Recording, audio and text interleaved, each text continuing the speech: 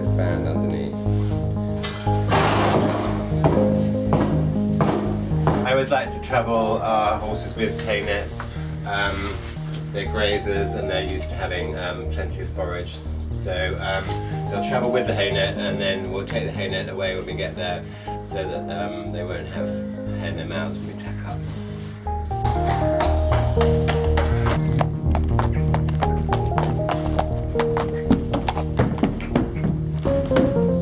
Normally for international shows, the tack and equipment and everything goes in trunks in the back of the lorry. Um, but for a day show, with a couple of horses, um, the tack will be in the side of the lorry for easy access so that we can get the tacked up quickly when we get to the show and the riders can get on. So we're setting off now, everything's loaded, double checked everything, so we'll see you at the show later. So we've arrived here at Hunter's Equestrian. We got here about an hour, an hour and a half before the test. Um, give the horses a chance to rest up and then uh, I need to get tacked up and get him ready so Carl will probably warm him up for about 45 minutes. So that's my job to make sure I've got everything here um, so we can get him ready. So can have boots on to warm up because they're easy to get off. Um, make sure he's got the right number on. Make sure Carl's got the right boots and jacket and hat to wear. Um, so there's a lot to think about.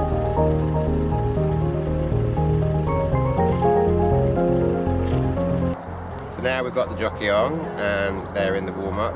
So my job is just to tidy up the lorry, make sure everything's ready for when they come back. Um, and then I'll go down to the arena with a bag with spares in and um, sugars, cloth, sweat scraper, sponge, all the sort of essentials. Um, if it's really hot, then I'll take a, a, bucket of water as well in case they need washing down. Um, if they have a little break uh, while they're training and they're really hot, then I might wash them down, sweat scrape them and towel them off and dry them off. Um, and I um, need to be on hand for anything that the rider might need. Um, and then about 10 minutes before the test, I'll take off the boots um, and give them a last wipe down before they go into the arena. So um, that's sort of my job um, at a day show.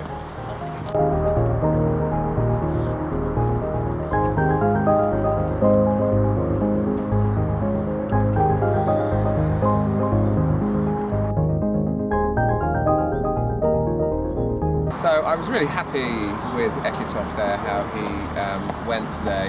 That's only his second Grand Prix, and um, I think for him to come out there at his age, he's 10, so that's very young. Uh, good year to start, but he's, he's quite young. Um, it's just so fun to ride. He's my pet. I've had him since he was two years old. Uh, and that makes it extra special because I've known him all the way through. We've had ups and downs.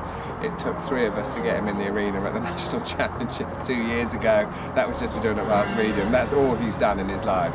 Um, some advanced medium and a few young horse classes. So very inexperienced and I mean he can you know you can feel there that he can really do this Grand Prix so I'm looking forward to the next few years with him and um, seeing how it improves as he gets stronger but delighted with the performance and what a day in March to be able to ride out here in the sunshine. So yeah it was a wonderful day.